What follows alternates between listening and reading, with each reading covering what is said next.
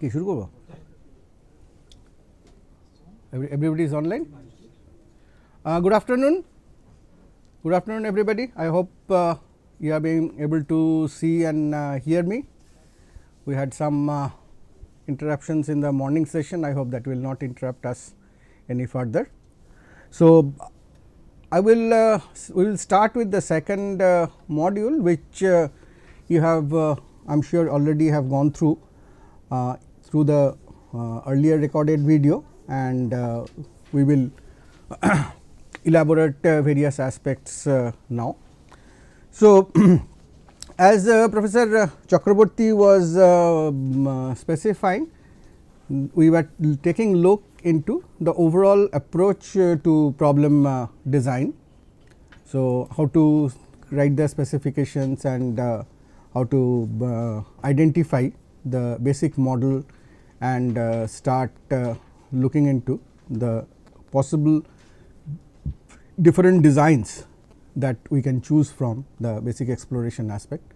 Naturally, as we uh, get into exploration, get into exploring different options, one of the main tool to decide on what uh, which design is a more preferred one compared to another design. The main criterion for uh, this choice as we do the exploration would be the different aspects of analysis. So, in this uh, session today in the next one hour, we will take a quick look in the different uh, issues and uh, approaches to analysis. So, that is why we are calling this the element of algorithm analysis. Now, obviously, when we present this uh, to the student, the best way as we feel uh, should be to talk about is instead of just trying starting with uh, this is the analysis that we do and so on, we would rather like to ask a couple of questions and start with their answers. Uh, so, the first question is why do we analyze? So, this is to set the motivation for algorithm analysis as to why is it important to analyze at all. The next question would be what do we analyze? If we are analyzing we need to identify what all that needs to be analyzed. So, we say what to analyze. Then certainly the deep question which uh, has a, a lot of different approaches, techniques and lot of depth in mathematics if you go deeper and deeper that is how do we do the analysis, learn the techniques of analysis, how to. Where do you uh, apply the analysis? That is understand the scenarios of the application where you will apply what is being learnt in terms of analysis and what is the context in which you seek for the analysis. So, which is when do you analyze. So, why, what, how, where and when are the basic questions about analysis that we would like to answer in this session. So, the first is uh, certainly why we analyze. We analyze because uh, the practical reasons are the resources are scarce that is whatever the resources you have uh, over the years the computational resources have increased and is continuing to increase by leaps and bounds be it the processor speed, the available memory and so on. But whatever increase we have we still this resources still remain scarce given the kind of problems we solve at that time. So, to put it put it uh, crisply there is a greed to do more with less that is the main reason that whatever we have we want to do more with that. Certainly we need to analyze because we want to avoid variety of performance bugs. So, some of the major issues uh, core issues will involve how do we predict performance that is how much for example, we for a binary search I, we want to know how much time does binary search take. We want to compare algorithms like find want to find out how quick really is quicksort. We want to provide uh, guarantees like uh, guarantees like a red if I have a red black tree uh, then all inserts can be done in order log n time or you want to understand different theoretical basis like sorting can never be done for n numbers in less than n log n time and so on. So, these are the core issues that we want answers for and that is the reason we will analyze. Naturally moving on to what do we analyze certainly the, the principle is we cannot control something unless we can measure it. So, what we analyze is what we are able to measure. So, the core issue here is what we analyze is whatever can be measured. Naturally, uh, instinctively we, we relate uh, analysis uh, primarily for time or rather put, put it in more crisp terms the effort that we need to solve a problem. And uh, interestingly this goes back to very early days of uh, computing when mechanical hand operated computers like analytical engines were in uh, use. Even then people were trying to find out that how many times you need to rotate the wheels of the analytical engine to solve add two numbers. So, that now translates to finding out uh, what is the time required the most common uh, factor and uh, but there are several other uh, analysis factors like power, bandwidth, processor. As the computing uh, system keeps on moving what we analyze keeps on also moving further. And time uh, analysis is uh, supported by various complexity classes. Certainly the second and equally important uh, factor of analysis is space which is also widely explored. And with the advent and wider use of handheld devices, the analysis of space is becoming even more significant because handheld devices has very limited space. So, earlier we uh, I mean when we are on a desktop we really do not care as to how much uh, space often an algorithm takes or we never talk about how big is the size of a code. We always talk about how much space the data will take, but we never con are concerned with how much size the code will take. We, we never look, even look into the size of a dot out or exe because it really does not matter I mean they, they reside in the disk and practically it is considered infinite. But when it comes to handheld devices both the code and the data reside on the same memory which is limited and therefore, even the code size matters code footprint matters a lot. So, space uh, needs to be analyzed for that and there are it is also supported by a number of complexity classes. So, there are we can take uh, small examples that is uh, say we take examples of adding uh, natural numbers and finding minimum of sequence of numbers. So, if this is uh, the this is a code to add uh, the natural numbers then we can easily find out what is the time complexity of this. So, how do we define the time complexity? We will define the time complexity in terms of some of the key operations that uh, are performed in this algorithm. So, we uh, do they see this uh, marker or? So if we uh, if we look at this uh, addition operation which is key for finding out the sum then counting the number of uh, additions will tell us how many. So um, I, ca I can uh, we can easily see that this will take if we say T n is a time or the number of additions then T n would be n in this case approximately and the space taken will be 2 because we have two variables n and s which need to be stored. So, when we are analyzing we are basically trying to find out such factors which will tell us that if we have some arbitrarily large natural number to add up to then how much time and how much space will it we be spending for that. Similarly, if we are finding the minimum of a sequence of numbers this is some uh, form of a code. You have already seen these codes in the video earlier. And uh, we want to since we want to find out the minimum we will here concentrate more on this comparison which is a key operation in finding out the minimum and try to count the number of uh, comparisons that we can have. And we will have the T n or time is the number of comparisons of value which is n minus 1 and the space is n plus 3 for the array and for the different variables n, i and t. And you may note that uh, in just uh, studying this we have ignored comparisons like uh, the comparison of the index variable here or the index variable here. We can also bring those in into the analysis. So, these are the different factors that we analyze for. And that same code if we rewrite so that uh, the in the in the in the earlier version we read all the numbers in the array and then find the minimum and in this version we do it kind of on the fly then both will give us the same result so far as the minimum is concerned, but uh, the time complexity does not change because the number of comparisons are still the same, but the space complexity changes because now we are not storing. So, we can do it with a constant amount of space. So, uh, we are trying to uh, we are just trying to show these uh, uh different alternates.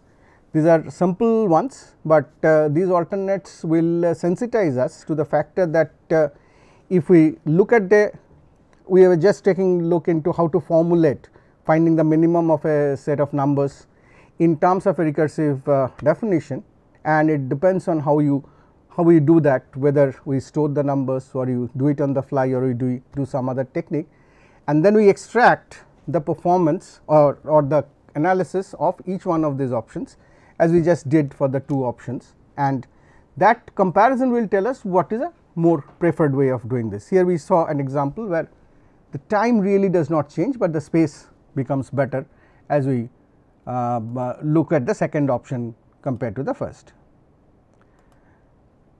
Now, so to analyze we need different techniques. So, this is we are going moving on to the third question as to how do we analyze and uh, naturally if we say look at uh, analysis uh, in very simple terms in terms of uh, analyzing time or analyzing memory then in some way we need to answer as to what are we really interested in. Now, it could be answered in two possible ways. One is I have a problem be it uh, finding the minimum of n numbers or finding a factorial of certain number or finding n Fibonacci numbers or as uh, we were discussing in the morning finding out the routes in a city map and so on. In terms of analysis are we really interested to know that given a particular input how much of resource would we need that is basically what matters that if I have a sorting program it sorts numbers I have a my computer and if I give it 10,000, 100,000, 1 million, 10 million numbers how much time will it take to sort that that is that is a core question that we want to answer. Now, the point is how do you answer that? One is one certainly way is to look into the problem, have a solution, implement that solution, put it to a machine, actually observe how much time it has taken and so that is that would be the most brute force way of doing that. Now, the problem with that kind of a approach would be that we want the answer of the analysis to decide what kind of solution we do. But if we have to implement and then observe, then we first have the solution and only then we will have the analysis. So, they come in the wrong order. But we I, I first need the analysis to decide what solution will I have. So, I need some way of forecasting that uh, if I use this uh, approach of analysis or if I use this algorithm, then what kind of resources will I get. Now, as it turns out that every machine has so much of different complex uh, structure and so much of different models involved in that that given a problem it is impossible to say how much time will it take or how much space will it take. So, to be able to get an idea about how much time it might take I need to do some kind of counting. So, a gross range of uh, analysis approaches if not almost all analysis approaches involve some kind of counting.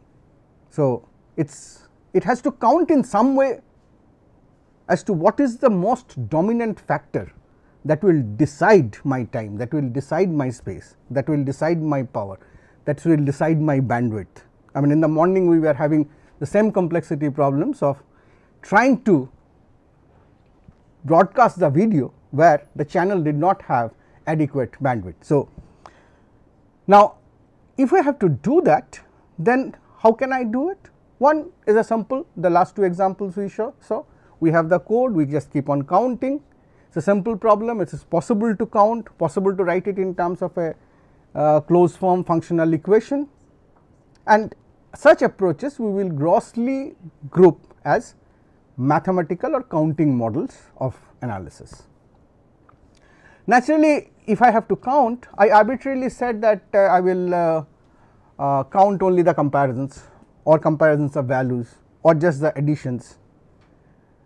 So, I must have some model for doing the analysis and the model that we will use for analysis that is very widely uh, prevalent is known as the RAM model or the random access machine model.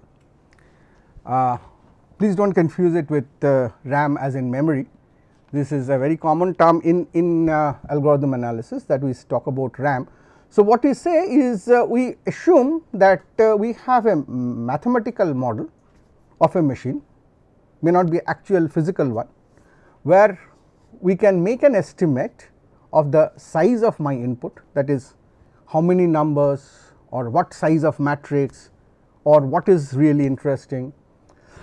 the RAM machine gives me certain basic operators to operate with. Now, what operators is a wide choice. It could be arithmetic operators like add, subtract, multiply, it could be uh, logical operators like compare. Or it could be some complex operators also. But we have to have certain assumptions about the different variety of operators. To have some idea about the size of output it produces.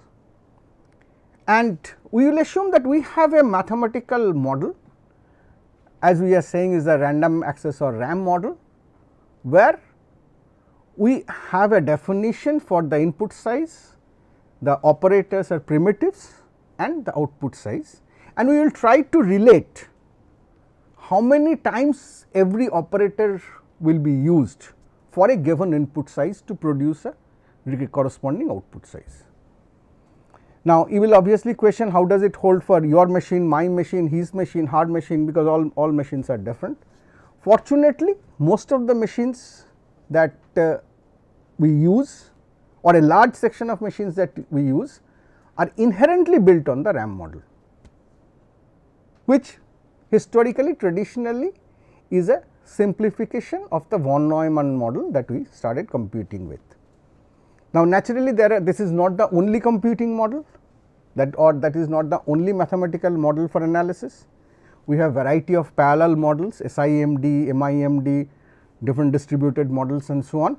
Depending on the model that we choose, the analysis methods will be different, the analysis results will also be different.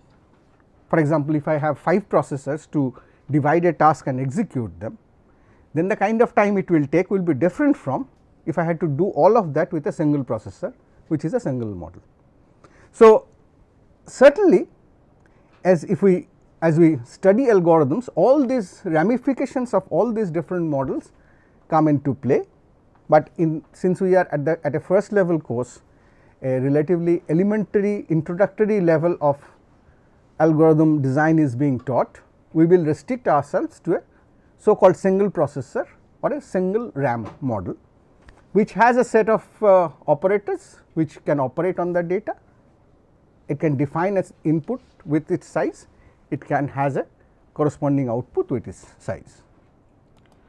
So, given that the core idea of the computing model is to find the total running time as you find out what are the different operators if you know the cost of every operator or rather in other words how much time does every operation take?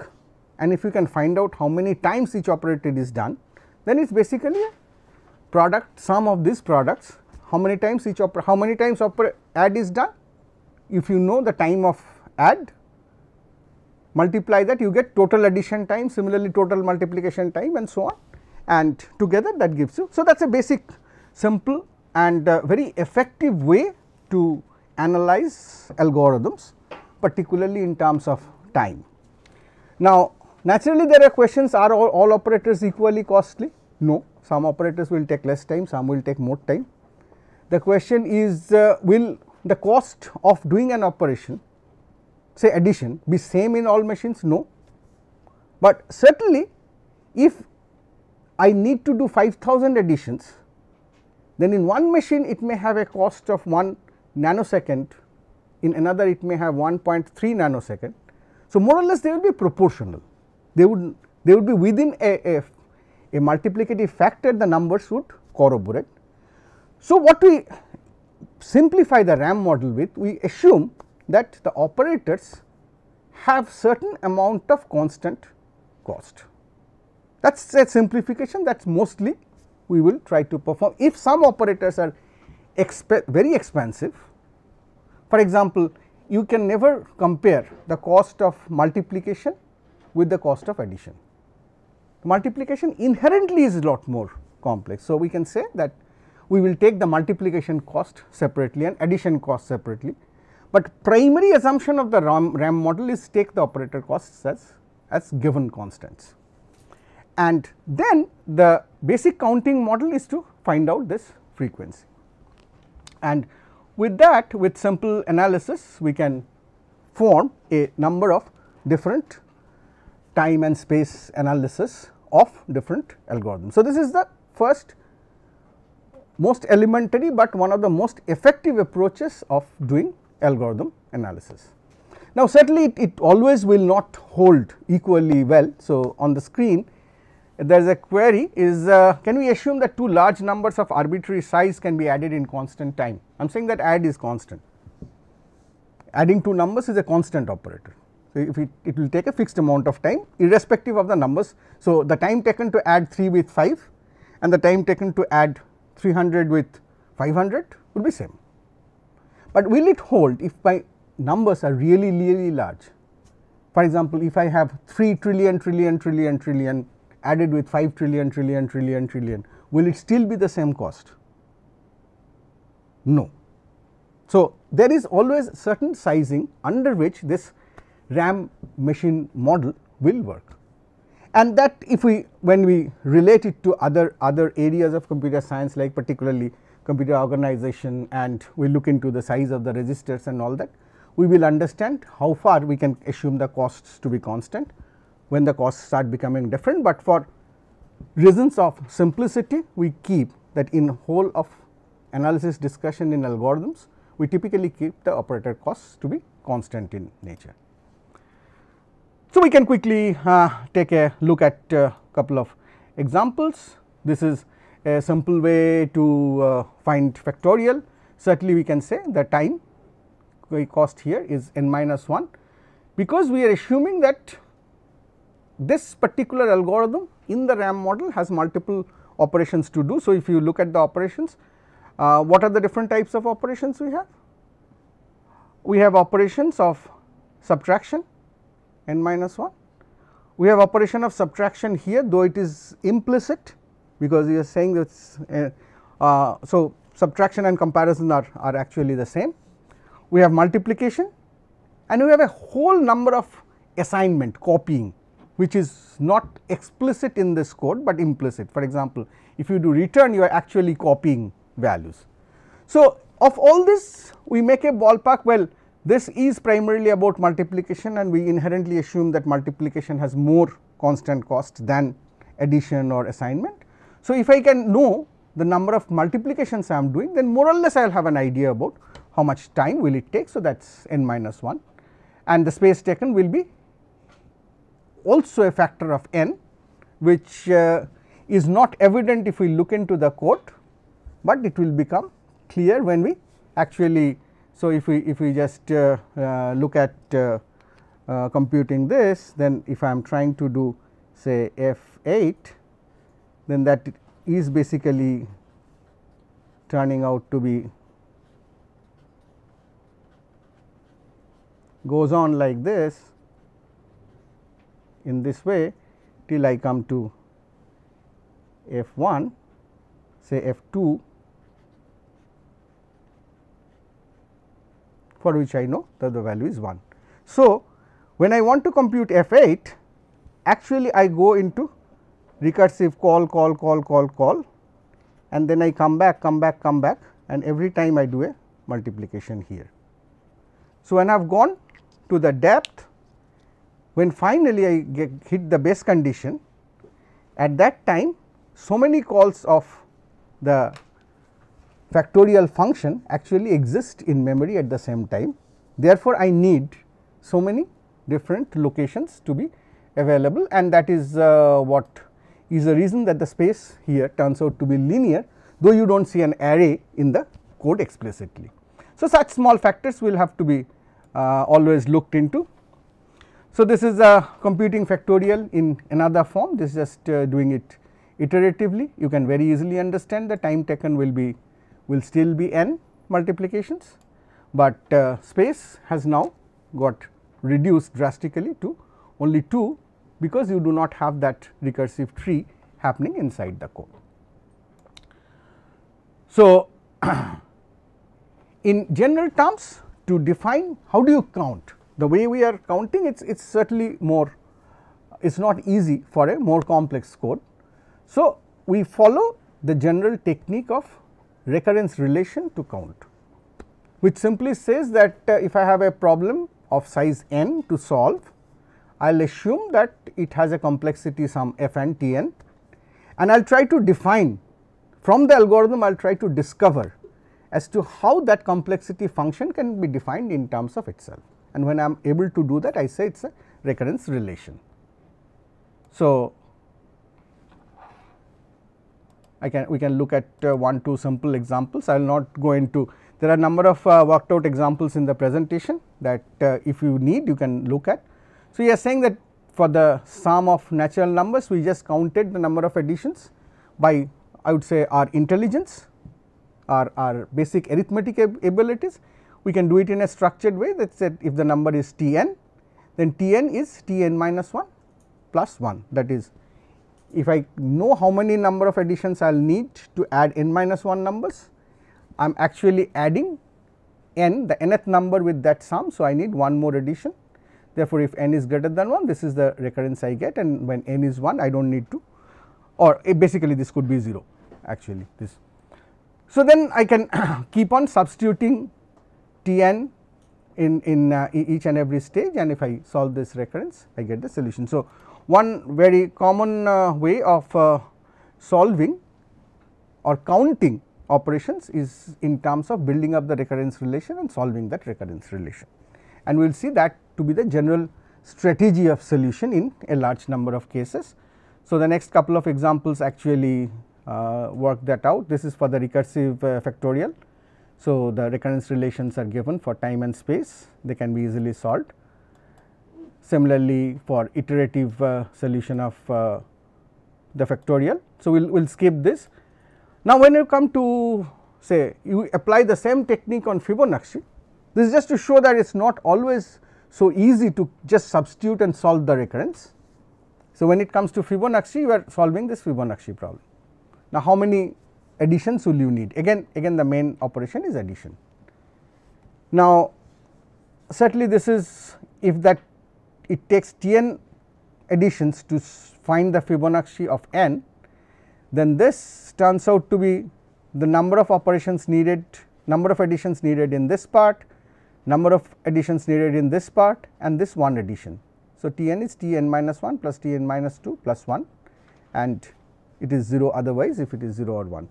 Now, this kind of a recurrence is not easy to solve by substitution because you will find if you substitute T n minus 1 you will get a T n minus 2 and a T n minus 3. So, you have now 2 T n minus 2s and if you keep on expanding. So, in, in, uh, in terms of uh, Fibonacci if you keep on expanding that uh, that tree. So, if we can just uh, uh, so it is if I do say T 4 is T 3 plus T 2 plus 1. So, that is T 2 plus T 1 plus T 2 plus 1 or in other words that is 2 T 2 plus T 1 plus 1. So, if I substitute T 2 it is 2 T 1 plus 2 T 0 plus T 1 plus 1. So, this is 3 T 1 plus 2 T 0 plus 1 it goes like this. So, these factors are not really very simple factors and as it turns out they themselves turn out to be some functions of the Fibonacci numbers and therefore, you use other techniques of generating function. We, we will not discuss about generating functions here because that needs uh, some bit of depth. where you set up uh, these, these techniques are very similar to the way you solve differential equation. Generating functions are, are used in a similar manner in which you solve differential equations because these are difference equations and you, you can prove that you find something like T n will become a phi to the power n where phi has a very peculiar expression known as the golden uh, ratio. So, those, those details are not specific all that we are trying to illustrate that one of the major techniques of analysis is setting up the recurrence and then trying to solve that recurrence and these are some of the uh, very special uh, I mean some of the difficult cases for that. Fibonacci can also be solved by storing the numbers and certainly the recurrence become easier because you store the numbers. So, your space complexity increases, but your time is better. Let us skip these uh, details this is a you can study the more improved code for this then iterative Fibonacci and all that. But let me move on to the next approach to analysis. So, what uh, we quickly try to look at is uh, our analysis this is getting into some recursive call at times it's a, it's that video itself is getting recursive at times I do not know there is some complexity involved here.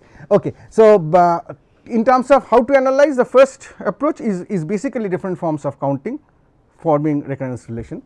Now, as it turns out if as your problem gets more and more complex your algorithm gets more and more complex solving the corresponding recurrence relations in exact form turns out to be almost impossible. And then you start questioning as really the machines vary the actual running cost of operators vary actual exact numbers may vary very widely with the input size. Am I really interested to know the exact expression of in terms of a function of input size as to how many operations will get done. Or what is a more interesting question is not specifically as to given a particular input how much time will it take. More interesting question is if I keep on making my input bigger and bigger and bigger, say by every stage we make my input double the size of the previous input size or 10 times the size of the previous input size, then how will my cost or how will my complexity or how will my time keep on changing. So, that tells me that does not tell me how much time will it take on my machine but it does tell me that my ability to solve bigger and bigger problems. I started by saying why we analyze, we need to utilize resources better, we need to do more with less, we are greedy. So, basic requirement is that we can make our problem size bigger and bigger and still be able to solve them given the resources that we have. So, instead of so there is a there is a subtle change in the viewpoint that we are making in adopting to the more complex situations of analysis. We are saying let us change the questions I am not asking as to given an input size n, given n numbers how much time will it take to sort by quicksort I am not asking that very specifically. What I am asking is if I keep on doubling n indefinitely for a large number of time, how will my time keep on changing? Will it also just be doubling or it will change by a different factor. So, we move from the actual cost to the growth of cost and that change in point of view changes the whole approach to analysis and that is what brings us to what all of us know all of you have been teaching is the sense of asymptotic analysis. So, we, we really do not care what the actual cost is what we care is if we keep on increasing the input size by a certain factor, how will my what is the rate at which my overall cost will keep on increasing. So, as again little bit of mathematics will tell us that for example, if my if my complexity function is a polynomial let us say if, if I have certainly if I find out for some t n not necess not the Fibonacci one, but for some T n suppose I have been able to find out that the complexity the time taken is a function of my input size n in this way. Now, if I keep on increasing n by a factor say if I keep on doubling n, then what will happen? If I keep on doubling n this does not change this is a constant. What this happens this will simply double every time I double n the factor of 2 n if n is 5 it is 10 if n is 10 it will become 20 if n is 20 it will become 40 like this. So, it will simply double. What will happen to this? It will change by a factor of 4. So, change also of all factors are not same, but certainly if, if my function is polynomial the particular term which has the highest degree will see the maximum rate of growth and we will say this has no growth this is constant we will say this has linear growth and this has quadratic growth. So, we would like to say that well I can roughly say that T n will change as a quadratic function and build up our logic based on that. Now, you will say that in reality it may not so happen so, it may be that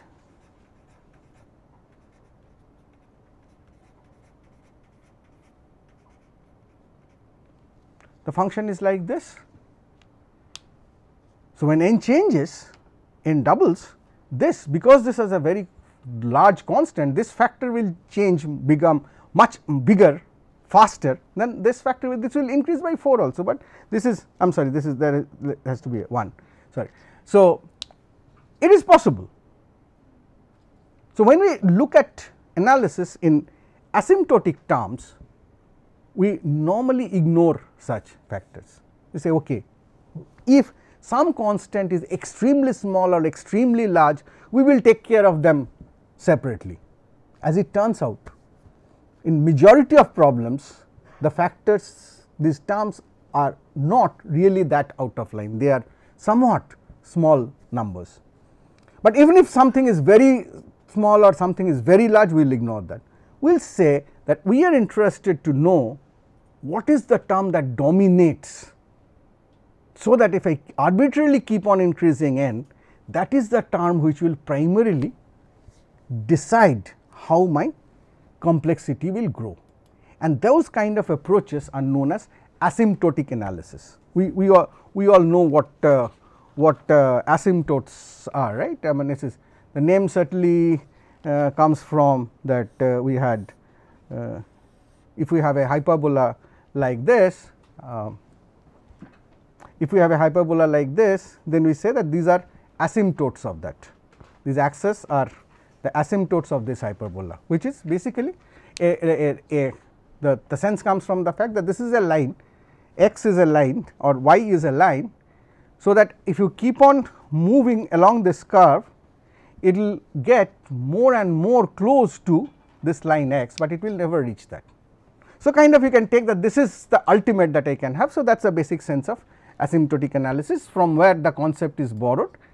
And uh, we say that we will take approximations look at the growth primarily. And based on that we have devised a set of new notation to talk about the complexity. Because now we are we are kind of getting convinced that it is not the absolute number that matters. It is a growth that we are more interested in and in the growth if it is a complex function we cannot really handle that. So, it is the dominant part of the growth that we are interested in and we would like to put algorithms into different buckets based on based on the main dominant factors that need to be taken care of. Okay. So, that is what leads to the different big O notations and those. So, let us quickly take a look at that. So, this is here is a is kind of a nested loop which uh, tries to find out if a i plus a j is 0 I know which pairs turn out to be 0. So, actual code is not very important except that you can see that this runs from 1 to n, this runs from i plus 1 to n and if this sum is 0 then you add the increment the count by 1. Now, the table below has been carefully filled up with the analysis from first principle, the simple counting principle. So, you do this you can you can spend your time and actually fill up the table in a similar manner, these will match. And some, in some cases you can get the exact expression, in some cases like how many times would you increment this depends on the data, because you will increment if this succeeds. So, there is a possibility of none of them succeeding, there is a possibility of all of them succeeding that gives the range. Now, certainly this kind of an analysis would have been very painstaking. So, what you can observe if you look into the same table that basically if we talk about growth then I am not interested in n plus 2, but n plus 2 basically means n it will grow like n. Similarly, this uh, whole thing like half into this will basically grow as half of n square.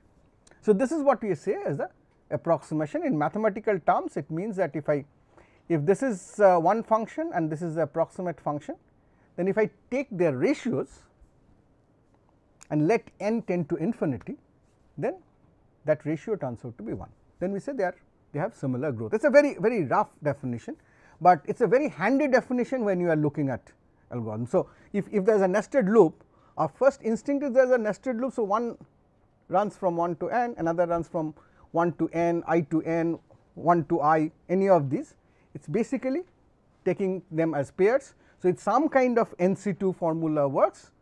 So, it is some form of a n square plus b n plus c. So, I can say it is n square.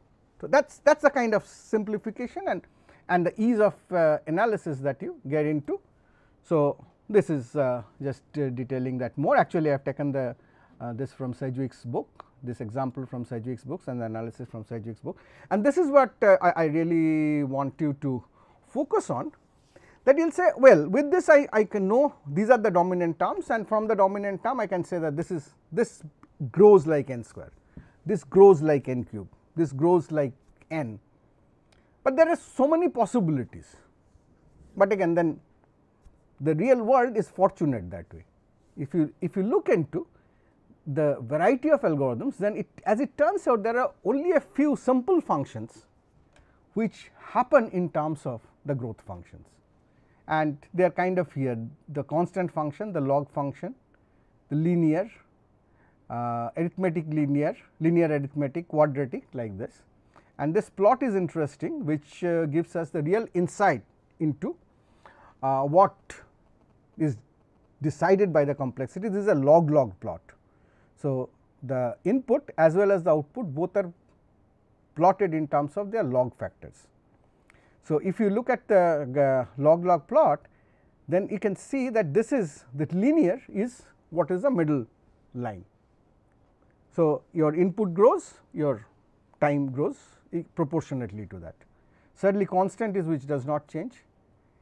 Quadra so, what will happen with quadratic cubic basically the slopes of these functions are factors of 2 and 3 and those that happen. Logarithmic we can see is very close to the linear and that is that is what makes logarithm really interesting that it is it changes with n, but it changes very slowly with n.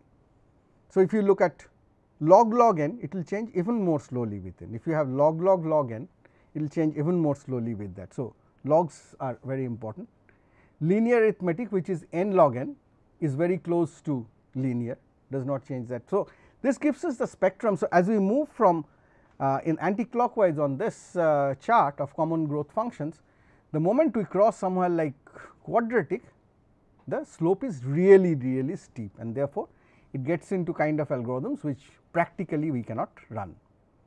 So, here is a chart of uh, different examples of where you get these complexity functions, we will skip that. Now, based on this we have defined a few basic notations for complexity and it is it is important to understand them. So, we are saying that suppose I have a function like this, then we will say that we all know we will say that this is this is uh, order n squared. Now, what does this uh, big order n squared mean?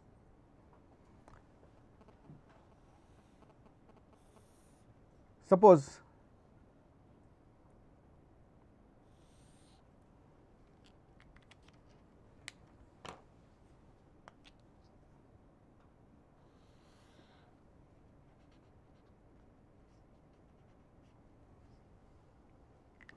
So,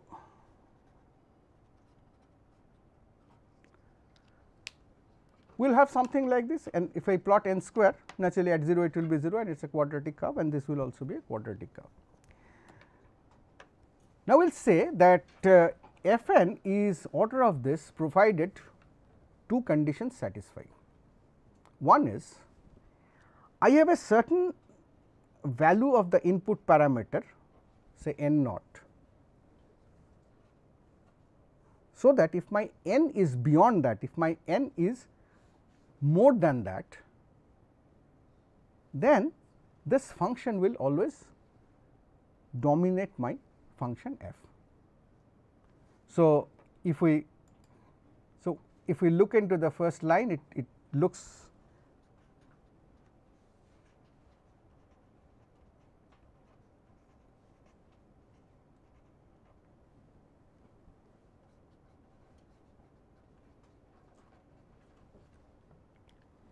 So, I, I, just I just copied the expression that is that is written in that slide.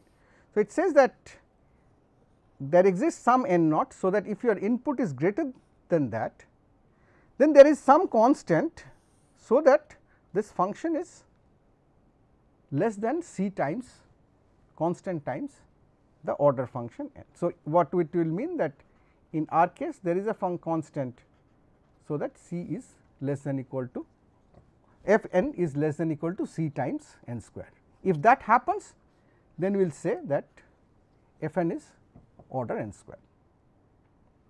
This is a basic notion yet that this notation mean. So, there is a there is a very common uh, question uh, in terms of uh, what if uh, what is order n square what is finally order n square? When you say order n square, what is that it means? Now, we found that f n is order n square. There was some some arbitrary f n. We had an arbit 3 n square plus 4 n minus 17 was order n square. Similarly, 9 n square plus uh, 3 n minus 52 will be order n square. 3000 n square minus 12 will be order n square and so on. Interestingly, 5 n is order n square right 5 n is also order n square because you can you will be able to find an n n naught beyond which there is a constant by which it is always less. So, order n square and this is what uh, often often I find missing while we discuss with students is basically a set. It is a collection of functions, it is not one function it is a collection of functions potentially infinite. So, that for all of them this condition holds that all of their behavior is in terms of what I can capture by order n square. Now, so what will happen if I so if this is a set if this is a set order n square and if this is a set order n what can we say so I can similarly have sets like order n what can we say is the relation between them? Is there a relation? Certainly there will be. We will have that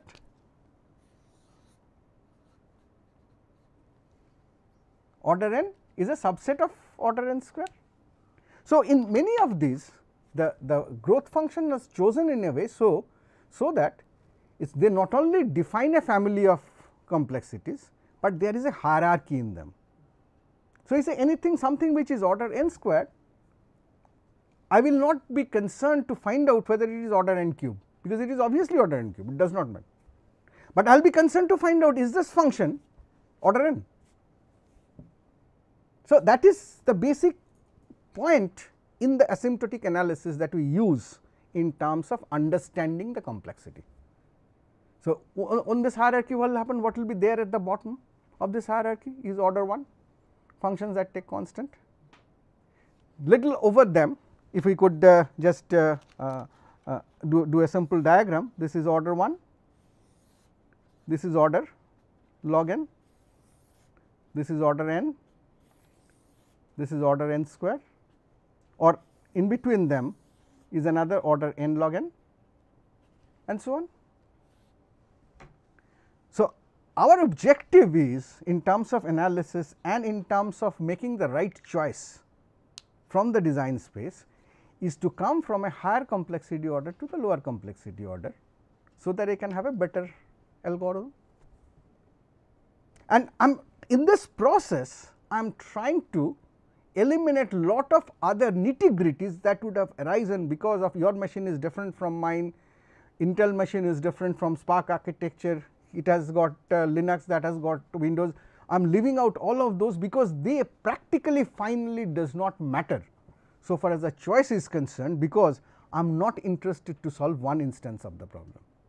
I am interested to see if I change my instance of the problem, if I make more and more and more large problems, how will that impact the whole computation and that is how the choice will have to be. That is the reason that what uh, fundamentally dominates analysis is the asymptotic form of analysis and it is very important to understand them. So, with this uh, let me uh, just uh, uh, come to the third approach uh, or rather tricks of analysis which is known as the master theorem. Um, Antonio, could you ask for some more water?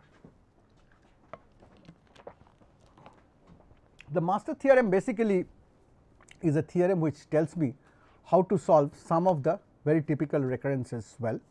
So, I will just uh, in the next uh, two slides I will just make two illustrations.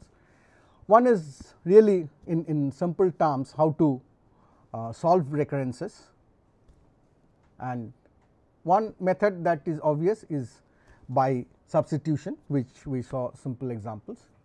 The other method which is very powerful is by hypothesis and test. How do you solve for a recurrence? Close your eyes and guess that is it. Just close your eyes and guess. Now, you will find this is wild. Why are you saying I am going to close my eyes and guess? Yes, it is wild, but the point is it still works for for the for two reasons. One reason it will work is if you if you look into the different complexity classes, uh, different expressions, growth expressions that uh, I charted out, will find that every growth expression has certain typical kind of algorithmic strategy that gets associated. If it is nested, then it adds one order of complexity. Divide conquer typically gives you some kind of log factor. If you if you have square root somewhere happening in the input size that leads to log log of n so on. So, you have some sense of what kind of structure might lead what kind of to what kind of complexity. The other factor of advantage is that there are not too many complexity classes. Maybe most algorithms fall into one of the 10 12 complexity classes. There are algorithms which is n to the power 2.87 naturally needs little bit more you know flash of the mind to solve them. But usually majority of the algorithms are linear log n, n log n, n square, n cube this kind of. So, it is possible to guess make a good guess and then try to just try out with that does your recurrence satisfy. So, hypothesize and test is a very effective strategy of analysis. So, which means that the core issue of analysis reduces to formulating the recurrence right. And the second way is a number of recurrence relations come under a common structure. So, learn that structure have a master theorem to solve them. So, these are the two things we will quickly illustrate. So, this is uh, this is one uh, uh, problem which we will come back to while we do uh, uh, searching more. This is finding out the kth largest number or kth smallest number in a list of n numbers. All of us know how to do it right, all of us know. How will you do it? You will sort the numbers and take the kth number. That is that is obviously that is the obvious way of doing it. And if you do that sorting we know takes n log n time. So, finding the kth largest in n log n time. So, it needs the brilliance of some computer scientist who could give this algorithm that you can find the kth largest number in linear time no matter what is the value of k. It works for the maximum, it works for the minimum, it works from any number, it works for the median. So, there is a recursive uh, decomposition of this problem. Today, I will not go into the details of how this works because this problem this particular algorithm is by itself quite interesting and if you listen to the um, uh, video of the previous session we have discussed it at length. I will also touch upon this while we do uh, sorting algorithms particularly, but this is just to show certain formulation that uh, it, it, at every stage we have tried to put what the complexities are. So, it takes the input divides it into 5 uh, n by 5 groups of 5 elements, sorts each group, finds out the median of each group, finds the median of median and then done some rearrangement. So, if you do all of this, we are not not please do not get uh, uh, intimidated that we are going fast on a complex algorithm. We are not studying this algorithm. My interest is to show that if you look at every stage, then you can express it in terms of a recurrence relation as given in the bottom. So, it is T n turns out to be T n by 5 plus T 3 n by 4 plus C n. Do not worry about how we got this, we will discuss that later on. Our interest is to solve this because we are doing analysis. So, given this how do we solve? So, this is a simple uh, example where it is if you try to solve by substitution and all that it will turn out to be extremely complex at least I do not know how to solve them in that method. But do a simple thing just assume that it is linear. So, if you assume it, it is linear then all that you need to show that is you want to show that it is order n. So, if it is to be order n then all that you need to show is T n is less than some d times n so, you need to show that there exists a constant d for which it happens n naught is already known the cutoff is already known here. So, you assume that it holds and you simply start putting it. So, T n by 5 is d times n by 5, T 3 n by 4 is less than equal to d 3 n by 4. So, T n you just substitute in terms of these d's after some arithmetic you get that this has to happen it is 19 by 20 d plus C n is less than equal to. So, if you can choose a d which satisfies this condition, then you have a value of d that is the most important fact. You can we can work that that that, that out uh, later on, but uh, this is just an illustration that you can just make a hypothesis and prove that that hypothesis holds. If this did not hold, then you would not be able to solve for this t. that is a simple thing. So, that is one way of solving. The other way is to use a Master's theorem. Master's theorem goes like uh, this. this is a general form of a recurrence. T n is a times T n by b plus f n. Where does it come from? Certainly, the it can come from various different strategies that will come to from the recursive decomposition, but this immediately tells us divide and conquer. n by b means it is being divided into b parts.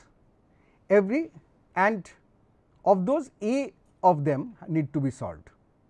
So, it is a times T n by b and at every stage you need this additional cost which is f n some function of n. then depending on the relations if f n is of the order of n to the power d then depending on the relations of a, b and d these solutions are what is known. How you how you prove? One is you do substitution and prove them that is one way of doing it. Otherwise, how you do? You just use the previous technique. If if somebody has already done it, you are trying to prove. So, you hypothesize that this is true, apply the formula of the notation and then show that it holds. So, if your recurrence is of one of these forms and it is very important for any practitioner of algorithms to remember the master theorem not only know it in philosophy, but remember it because that becomes very handy because the moment you have the recurrence you immediately know what the solution is. That does not solve all problems in life mind you, but that solves a large number of problems in life. In fact, there are special cases of f n also for which. So, if this function is a polynomial and if you have this decomposition then it the solution is immediately known. Obviously, it will not work for many cases for example, if if it is a periodic function, if it is a power of 2, if it is square root of n, things will not work, but for a large cases number of cases this will work out. So, here there are some examples worked out even in the problem set we have given a number of examples. So, to, to summarize we have uh, in terms of uh, how to analyze uh, we have talked about and this was the main uh, part that we wanted to talk about. We have talked about three basic approaches one on top of the other. First principle is to be able to count. To be able to count you assume a RAM model on which all of our analysis will be built on. First approach is to physically try to count that turns out to be more difficult. So, you build recurrence relations. Recurrence relations in general become more very complex to analyze. So, you realize, so you look back and decide that it is not important to have the exact complexity of a given input size. All that you need to know is how does the input the complexity grow as you grow the input size. So, you just solve it in the asymptotic sense and to be able to solve it in the asymptotic sense you have two one handy theorem the master theorem that you can use if you if it falls fits into that form and otherwise in general it is some hard mathematics or closing your eyes making a guess and proving that it does belong to that complexity class. So, that is the whole whole approach that it turns out to be. Okay. So, with this uh, uh, let me move on to the last uh, uh two how much time do we have uh, Antonio? One hour past. So, we can take 10 minutes to close. Okay. So, the two other factors I will I will come back to these uh, more and more, but the question is will the algorithm behave uniformly for all kinds of inputs, where in what kind of input would you apply your analysis. For example, if you you are trying to sort n numbers, you are doing something like bubble sort. The numbers are already sorted in the order in which you want them to be sorted. It is a single pass of bubble sort which will decide that the numbers are sorted. So, it becomes linear, but we all know that in general it is not that way. So, there are different situations that an algorithm can get into based on the different distribution of inputs. The algorithm all algorithms do not behave uniformly with all inputs. So, we categorize the inputs in different forms and that has given rise to a, a variety of strategies for analysis and also design of algorithms. Certainly, the first in this is the best case. Okay, so, the what is the input given an algorithm what is the input for which my algorithm will behave in the most simple manner or the least cost manner that is the best case. So, I am doing bubble sort things are sorted in the same direction is a best case for bubble sort. Other is and what is more common is the worst case. So, in worst case what we talk about is if we could consider all possible inputs then what is the input which will make my algorithm do maximum amount of work. Now, the maximum amount of work is a sense in terms of time. If the complexity parameter is different, your sense of that work will be different, but the idea is what is the worst possible input so far as the performance of my algorithm is concerned that is the worst case and that is what we mostly always talk about. So, that is the other way of looking at it. The third which is also very common we say is the average case how will it behave in average. Now, the moment you say it is an average case you get yourself into some sticky areas because if you have to say how will, how will it behave on the average then you are saying that with all inputs it will not behave in the same way. If you take a simple case of bubble sort given a set of numbers it can have best case, it can have worst case, it can have some intermediate case. Now, in each one of these it will take different kinds of complexity numbers so far as comparison is concerned.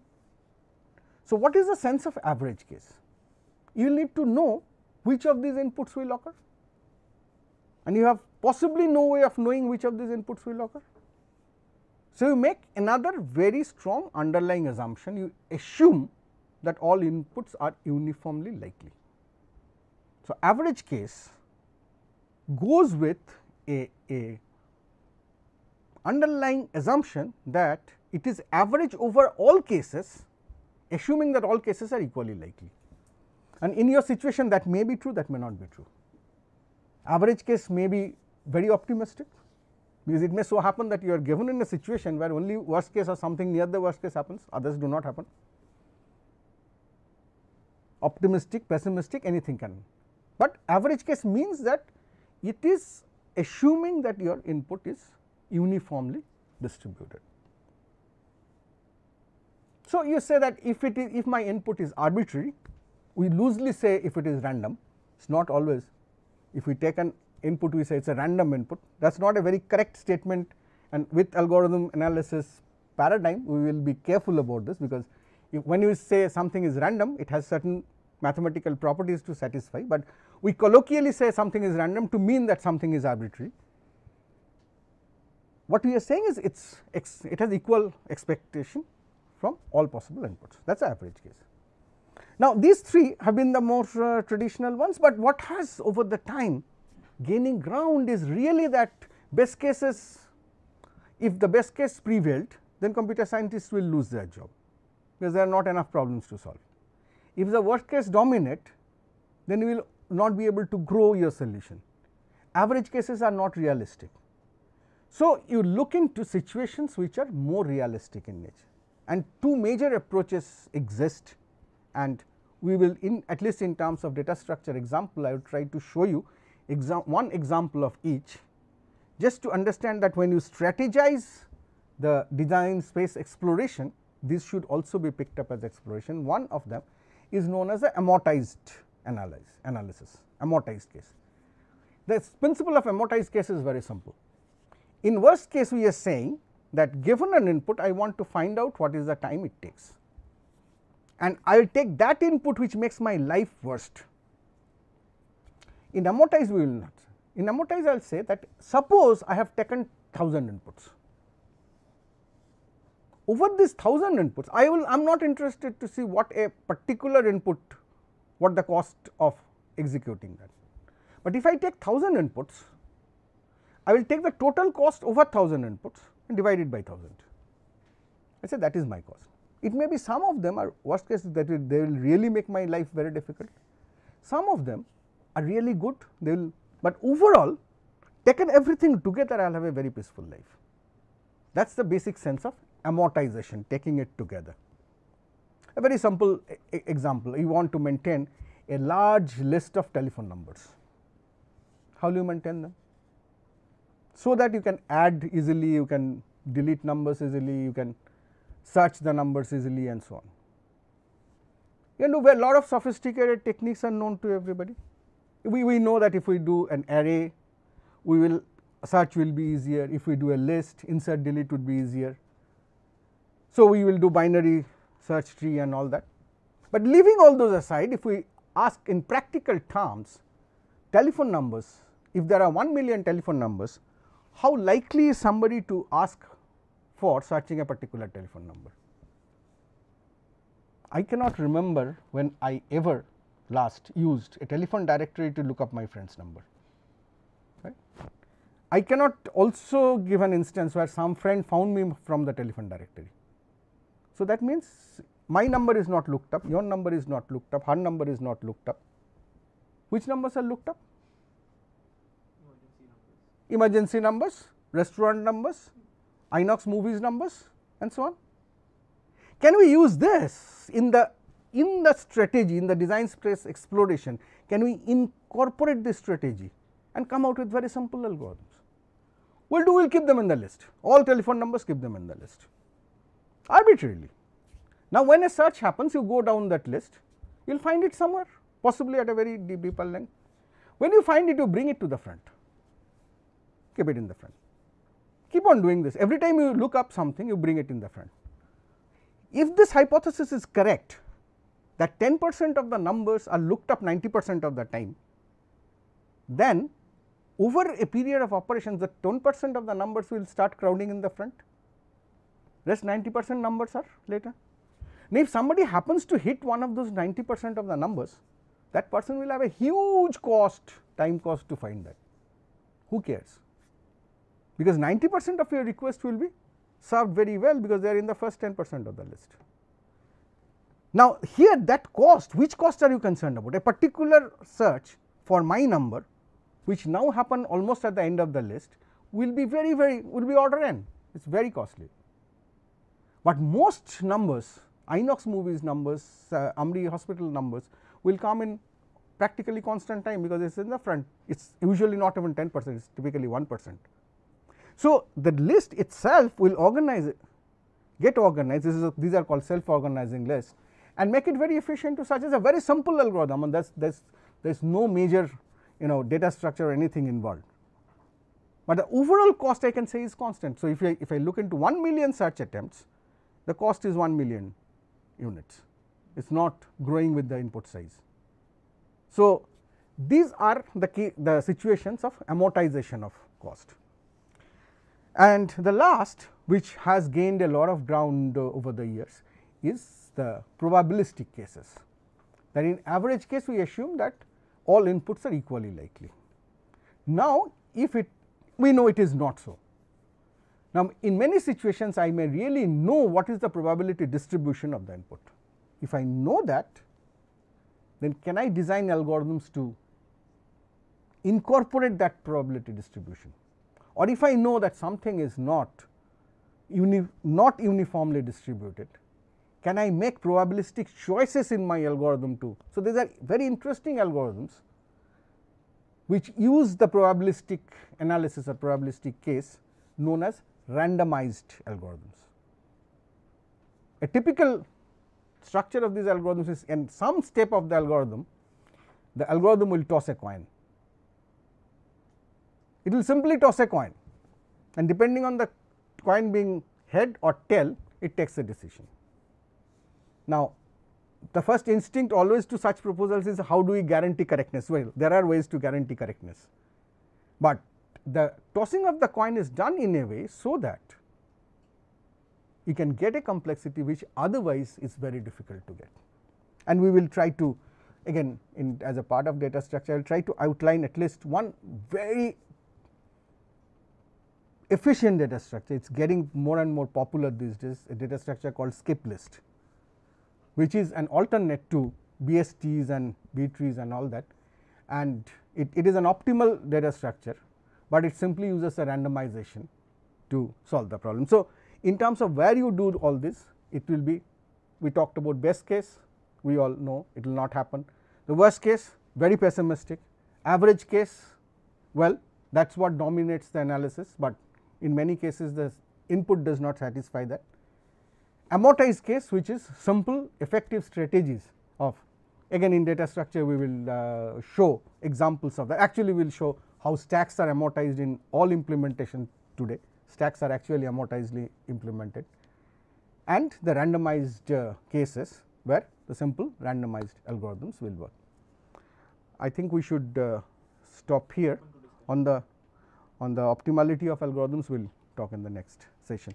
Okay, so the sentence uh, this is uh, on the basics of the uh, elements of algorithm design. One part I have not uh, yet covered which uh, I will cover as I go into the uh, data structure in terms of when to use that the particular optimality issues. So, we will talk about that later on. So, on the uh, four basic questions that we have tried to answer in terms of why we analyze, what we analyze, more significantly how we do the analysis and where all in what all context uh, we can apply the analysis, uh, we can now have uh, a question answer session. So, do we need to have a, any break or we can continue yeah, right? Have a break. On this yeah. we go. Hello. click and then we need to click and then choose and then that's selected so Uh. Yeah. double so best uh, operator is not here or director. on Anna University. Uh, hello, uh, RCID 1005 Anna University Chennai. Uh, you had uh, raised a question. What is the question? Can, can you can you hear me?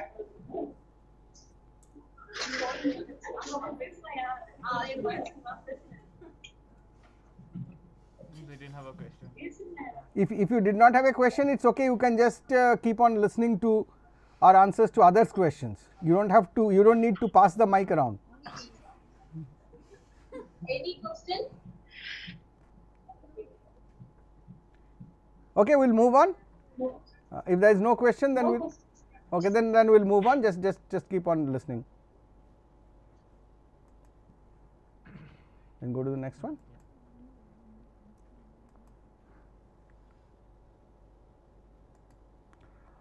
Okay, uh, then I'll uh, answer this question. Uh, Tell him to switch switch to the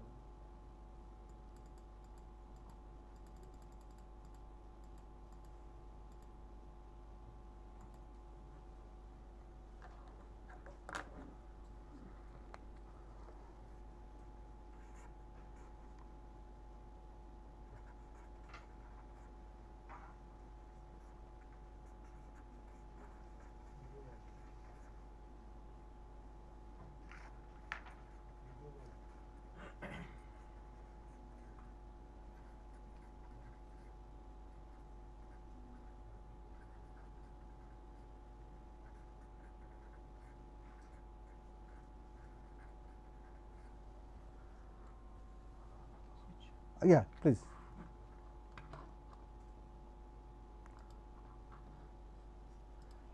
So, uh, we we have uh, uh, specifically three notations that are commonly used and uh, I just uh, talked of uh, one example of the big O notation where big O notation says the, the other conditions are same that we need to have an input size n naught such that we consider for all inputs greater than n naught. So, it is not that for all possible n the conditions will have to happen, but there has to be at least one positive constant n naught beyond which everywhere this condition has to happen. That there has to be a constant c, so that f n is bounded by g n like this. If that happens we say it is big O and if it is bounded from below then we say it is omega. So, both are asymptotic approximation one in one we are saying that uh, f n will never exceed c times g n and in the other we are saying that f n will never be smaller than c times g n. So, these are the two basic uh, notations and in very simple terms we say use the big theta notation to mean that it is big O and omega at the same time. So, it is like we have some C 1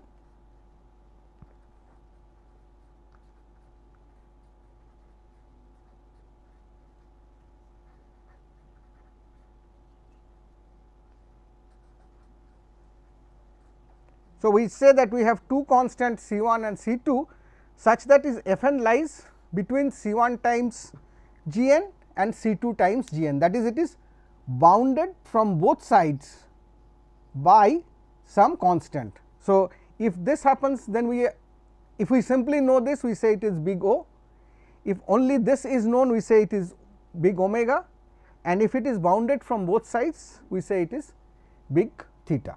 So, that is the basic uh, notational uh, distinction in mathematical terms that is done.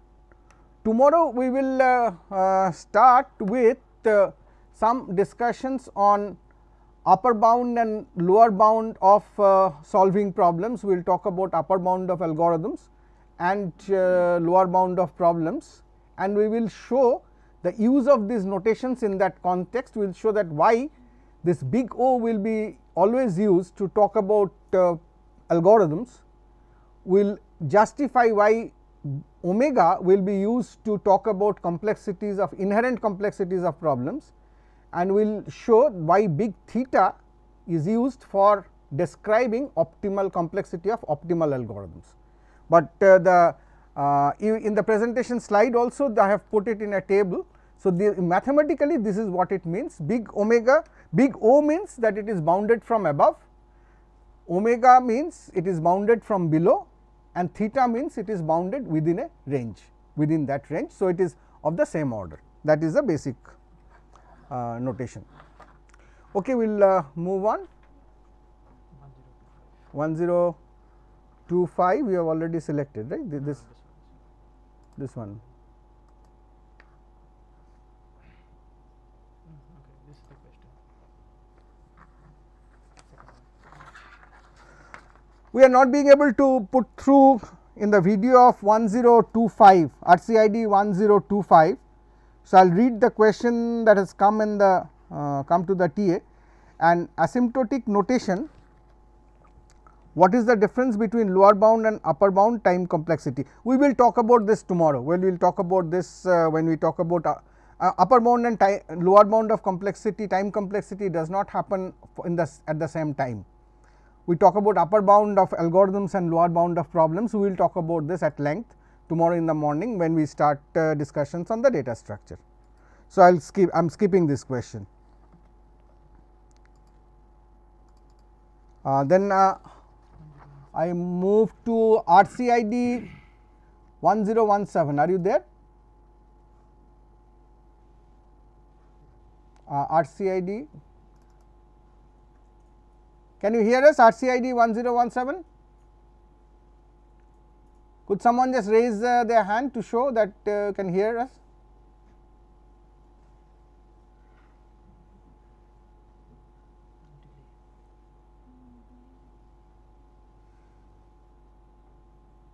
So, uh, for RCID 1017 PVG College of Engineering and Technology Pune the question is what is the common method to solve any kind of recurrence relation? If not so specify suitable method for different types of uh, recurrence equation.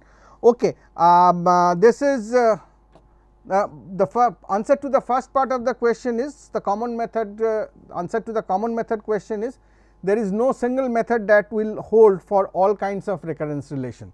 It uh, does not exist.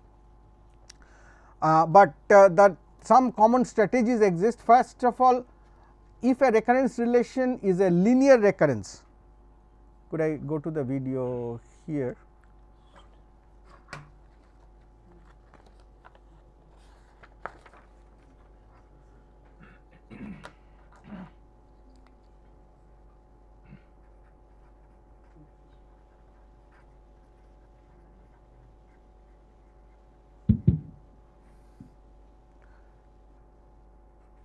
Some of the um, uh, no general Hello, sir.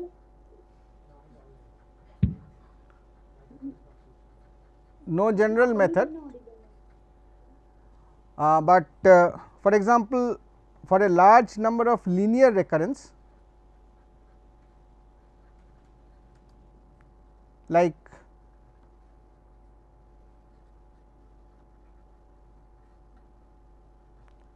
recurrence of this form where in the recurring term the the input parameter is a linear function. So, here T n is defined as a linear function of n T n minus 1. So, when it is a linear function these recurrences are known as linear recurrence. So, this is not a linear recurrence say this is not a linear recurrence, but this is a linear recurrence. This is a linear recurrence because it is t n minus this refers to n minus 1 here it refers to n by 2. So, for linear recurrence there is a technique called generating function.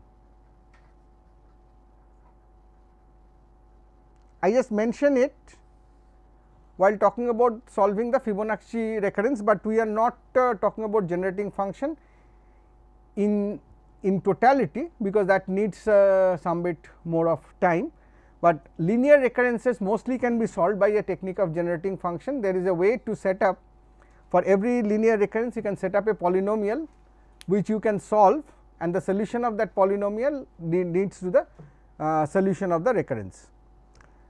Uh, the the third which uh, is more frequently used in the context of uh, algorithm analysis are the recurrences of this form which we, we already have discussed.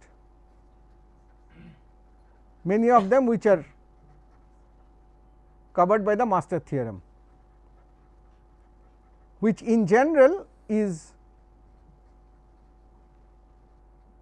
is kind of a divide conquer recurrence where you divide the problem in b parts solve a number of them with a certain additional cost of uh, f n. So, master theorem or variations of master theorem can help you solve that, but uh, the remaining ones are mostly as we illustrated it is uh, hypothesize and test there are not much uh, general, but, but most of the recurrences that uh, are interesting that are really useful in terms of analyzing variety of algorithmic strategies and algorithms uh, usually fall between 2 and 3. So, you can solve by these methods. Okay, we will move on 1056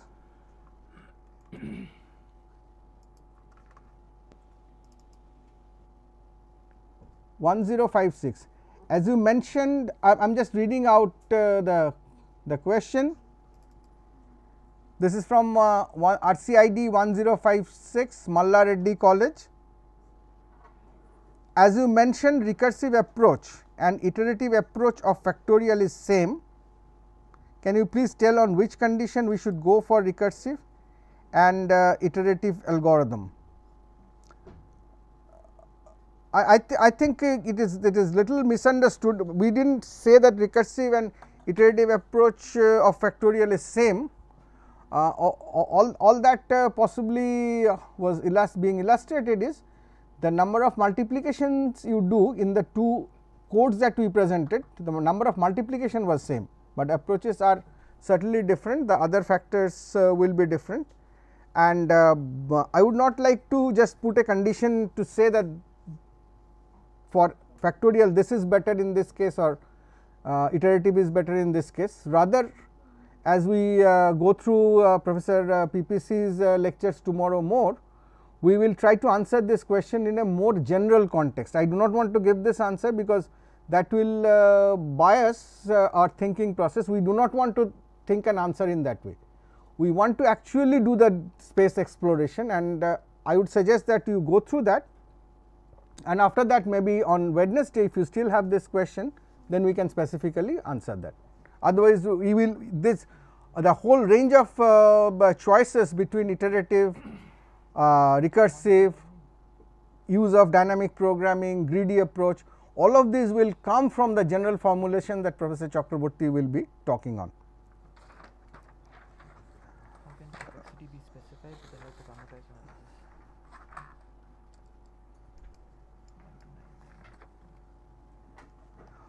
How can be complexity specified with the help of uh, amortized analysis case. Yes, this is a very interesting question. This is from uh, 1099, right? 1299. This is from uh, the question is from 1299. I will repeat it once more for others. The question is how can complexity be specified with the help of amortized analysis case. Uh, let me uh, first explain why this question is arising because we said that uh, before amortization all other strategies uh, of uh, analysis uh, just emphasize that the complexity is expressed in terms of the input size. We say that sorting is n log n, what is n? n is the input size. Binary search is log n, what is n? n is the number of elements from which I am trying to search. In amortized as it turns out we are saying that the amortization is over the number of attempts we are making. So, obviously, there is a question of on how many attempts do I report this complexity. So, as it turns out that amortized analysis does take the number of attempts into consideration, but uh, the complexity is not specified keeping the number of attempts in mind.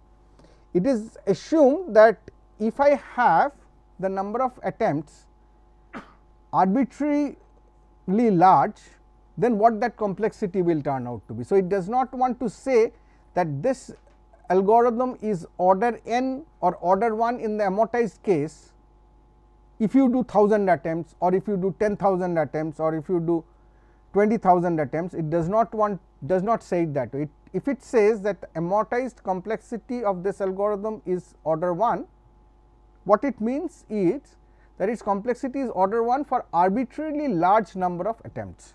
The specific numbers may vary and we will see uh, in the first lecture of data structure while I mentioned that I will show uh, how and why stacks are implemented in amortized way these days and uh, you will be able to see that there are different implementation parameters which might decide how many attempts will really amortize the cost, but uh, the complexity is expressed still in the same form of a function of being a function of the input size it does not take the number of attempts into consideration. I, I do not know if you, if the answer made sense, but well we will have to go with that. 1299 uh, can you uh, are you, you all are being able to hear me properly right think so because there are people Hello? yes please Hello. I can I can hear you Uh, yes, sir. I understand the answer of that question. okay thank you very much ma'am Hello. Okay, sir. okay thank you very much Next is 1317. You already answered this actually. अब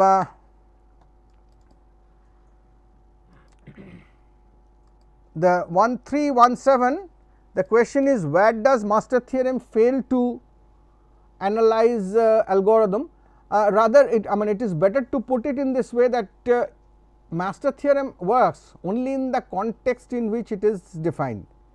So, if uh, the the actual uh, function which is being recursively expressed does not is not a monotone function then this uh, master theorem cannot work, but it also is not true that for all monotone functions master theorem will apply. The final solution has to be a monotone function. So, it does not work for um, uh, say periodic functions, it does not work for uh, exponential functions, it does not work for sub exponential functions. So, it is better to take it this way that uh, any recurrence which fits into the given form of uh, T n being a times T of n by b plus a polynomial term a polynomial factor is a general form and there is a vari variant of the polynomial form that works and master theorem is limited to that. But it still has a tremendous impact because a very large number of algorithms and strategies actually uh, uh, fall into this uh, structure of the recurrence that master theorem can help you solve.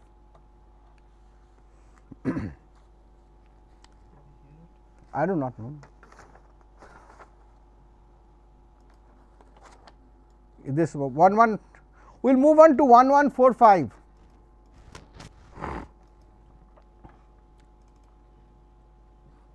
One one four five. Can you hear me? One one four five. Why is it so dark? Oh. Okay, uh, so from 1145 the question is usually we have seen using the same asymptotic usually we have seen using the same asymptotic notation for the best average and worst case complexity for different algorithms. Can you give the reason for it? Okay. Uh, I am assuming that what you are meaning is a notation in terms of the big O notation. See the big O notation is a is a representation to for a family of functions a family of complexity functions I already explained that big O is a class of functions. Now, the question obviously is if I say that this is a quadratic algorithm that is order it has big O of n square complexity in time that statement will make sense only if I specify as to what kind of inputs I am talking about. So, the complexity expression itself does not express the kind of inputs for which that complexity holds that has to be specified separately.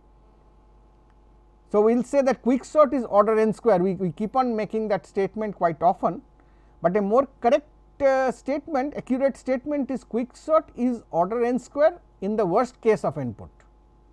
Quicksort is order n log n in the average case of input. The notation is simply a mathematical way to represent the class of uh, complexity functions to which it belongs and has nothing to do with uh, the subset of inputs for which it is defined. That subset will have to be defined separately. Let us move on. Any other question left? Which one? I do not know.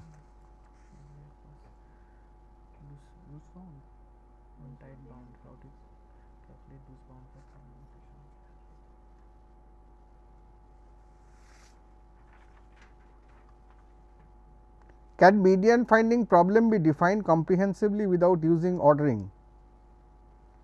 Uh, uh, RCID 1122, RCID 1122.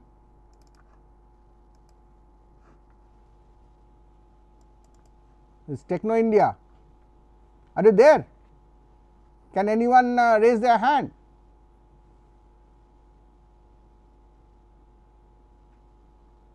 Yes, yes, good, good, good, good. I can see. Okay, so the question was, uh, can uh, can median finding problem be defined comprehensively without using ordering? Ye- uh, well, um, the uh, first my first uh, reaction to this is I am not sure whether I should answer this because um, uh, Professor PPC has already given this as a discussion assignment in the first uh, lecture if you remember. This is the one of the first uh, uh, one of the problems he, he suggested that be discussed. Now, one line answer is yes, because ordering when you do ordering certainly that is one way of finding it, but what is the sense of the median? The sense of the median is half the numbers are smaller and half the numbers is greater. So, if you can write that out in a mathematical form set theoretic uh, or logical form then you have defined your median. To define the median you do not need to find the median. This please do not when you are talking about problem formulation you yet have not found a way to solve the problem. If you define it as a, in terms of ordering then you are already going to the solution. You are pre assuming that it has the set has to get ordered for its median to be known, but uh, the problem formulation will say that I should be able to express it using set theoretics logical different mathematical expression language as a specification and then derive the solution for that eventually. And as we will uh, show the select algorithm that I skipped uh, in the presentation today, I will talk about that during sorting searching as we will show that median can indeed be found without ordering the numbers, because all that you need to specify is half the numbers are smaller and half the numbers are greater. So, please try to work on that for simplification you can assume that the that the number of numbers is odd which makes your median unique. You do not have to take care of the specific cases that Professor PPC mentioned, but please try to solve that problem. Any other left we are at the end of the time almost these three.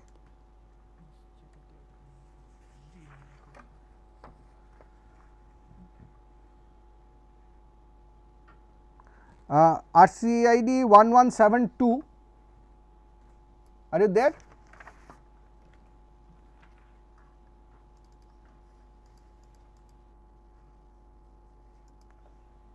Your question was difference between linear recursive algorithm and recursive traversal algorithm. Could you explain the question?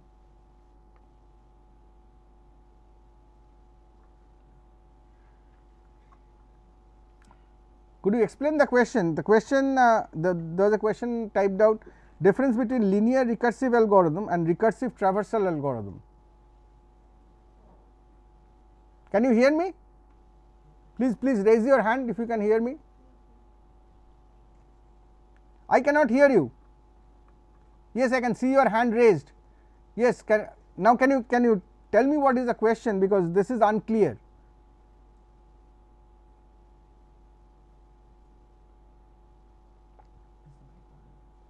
Is your mic on or just check if your mic is on?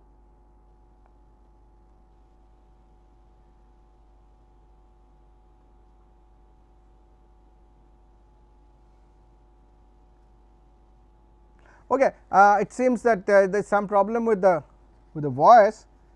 Uh, I, I, do not get this question uh, clearly, but uh, uh, one simple reaction would be that there is a I cannot understand what is meant by linear recursive algorithm. There is recursive algorithm and it may happen to have a linear complexity, but there is no class of algorithms as linear recursive algorithms and a traversal algorithm is a, is a traversal algorithm. So, I presume that you are talking about trees I do not know because traversal also is a very general term. So, uh, I do not know if you are, but uh, traversal naturally could be recursive as we will see actually actually you, you can try to map this when uh, Professor PPC does his sessions tomorrow as we will see that all problems are basically derived from a recursive definition. So, everything will have a recursive definition then certain forms of recursion are easier to translate in terms of uh, linear uh, iterative structure and there is a class of them we call the tail recursion and some are not so easy to transfer. So, those are the different design choices that you make, but otherwise uh, you, you could write write out this question in more detailed form we are not being able to understand beyond this. We will go to RCID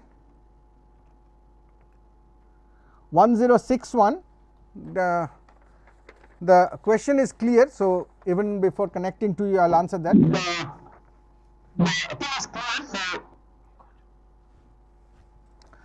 Uh, the question is uh, we want to know which problems in DAA design and analysis of algorithm generates amortized analysis. Uh, see a problem will not generate analysis uh, amortized analysis uh, typically is uh, done of uh, algorithms strategies. Uh, we will we will talk some bit in while we talk about uh, lower bound.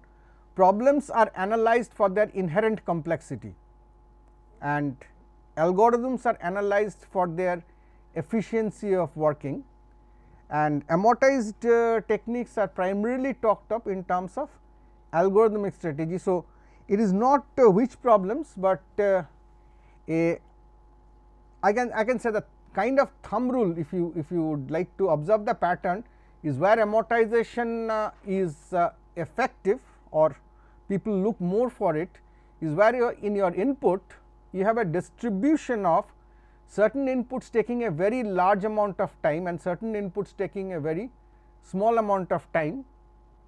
And you do not know any easy way you do not have a easy way to define the distribution of the inputs. So, then the question is uh, can I do something which naturally mixes up the bad cases with the good cases and uh, give me something which is acceptable in, in all possible ways. So, that is where the amortization will, will often happen. So, the example of telephone directory we talked of it works because you have a large number of bad cases and a small number of good cases, but it so happens that the small number of good cases are looked up most often and the large number of bad cases are not looked up at all. So, you can mix them up properly and uh, I will certainly also discuss it from that context when we talk about amortization in stacks tomorrow.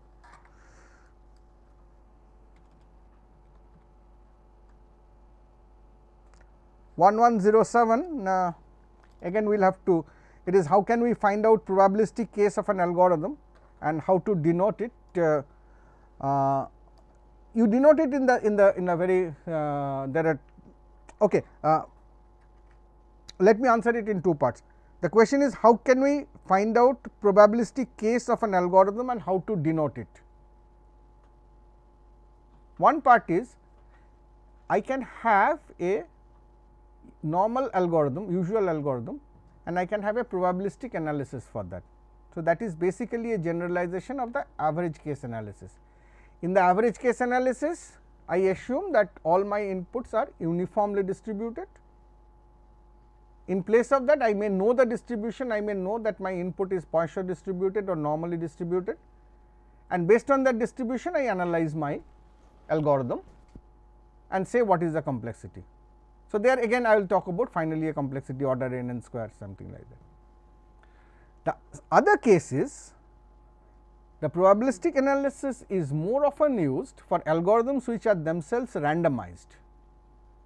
So, if an algorithm is randomized, then I may also say that this complexity holds with a probability of such and such.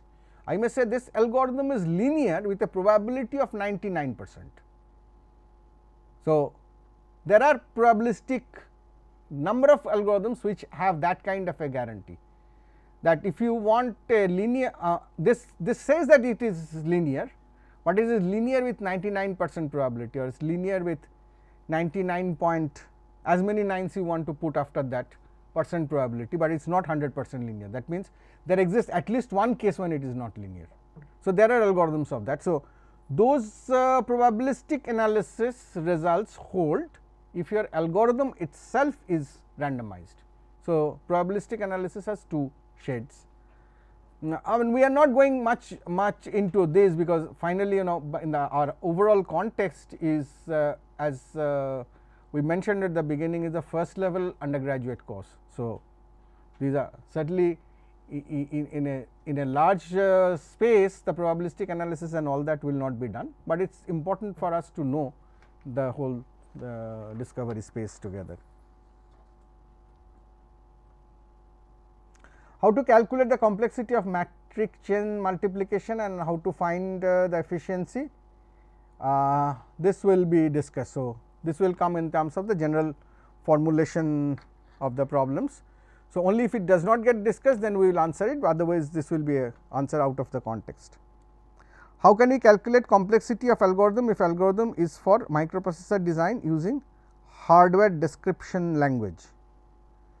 Uh, 1306 how can we calculate the complexity of algorithm is algorithm is for microprocessor design using hardware description language.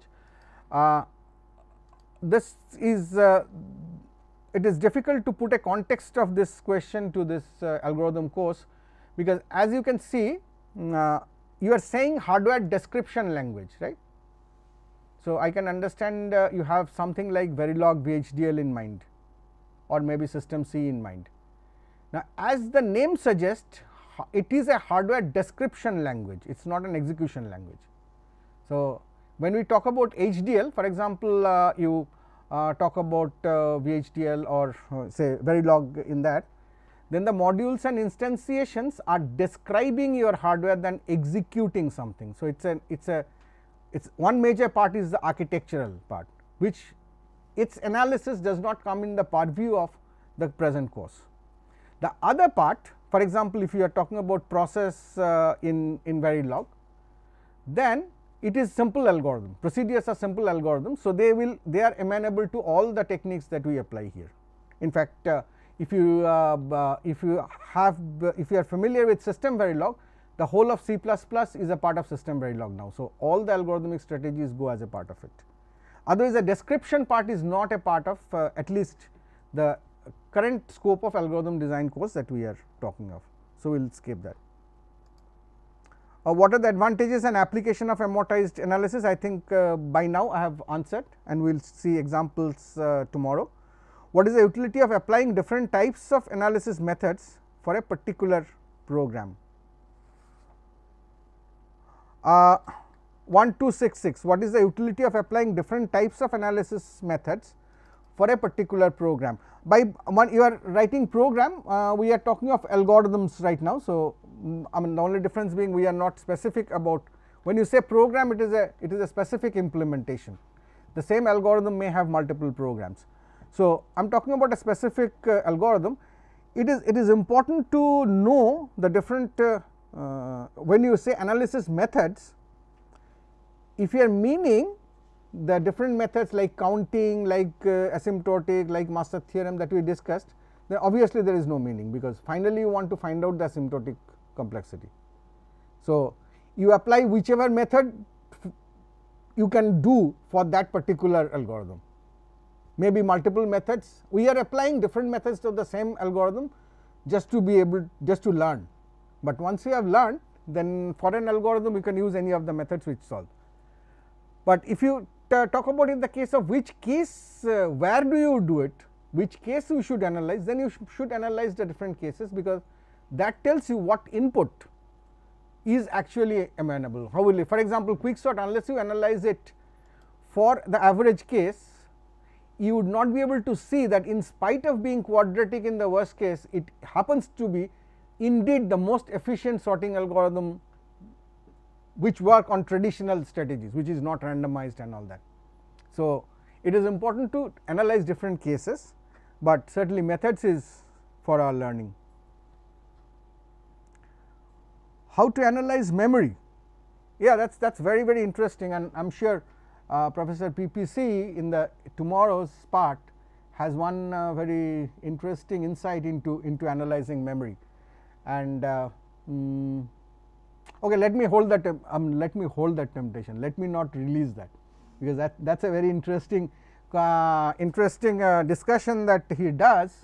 You may have seen this in the video if you have seen the video carefully this question is answered in the video already is a basic question of what is fundamentally different between the analysis of time and the analysis of space there is something fundamentally different ask yourself that or you can look up and see that video otherwise let us wait for PPC to answer that because he, he does that in a very nice way.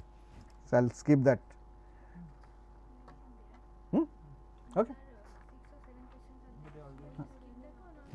Okay, I think we will. Uh, okay. Uh, topics have been emailed to the coordinators.